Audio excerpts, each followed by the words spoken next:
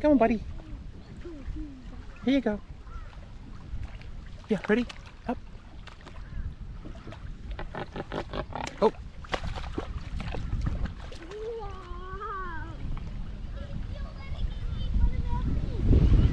he ate one of our fish.